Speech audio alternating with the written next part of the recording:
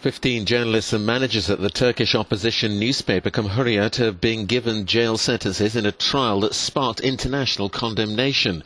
Three were acquitted. The court ruled that the case against former editor-in-chief of the newspaper, Can Dündar, would continue separately. Following a failed coup attempt last year, more than 50,000 people have been arrested and concerns have been expressed about press freedom in the country.